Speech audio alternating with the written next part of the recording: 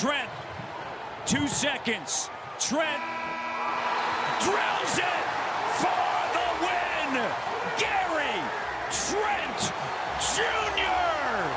delivers the W for the Raptors at the buzzer.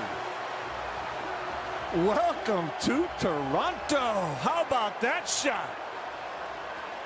Wizards are looking for an offensive foul. Gary Trent got that ball up, played right through. Check this out.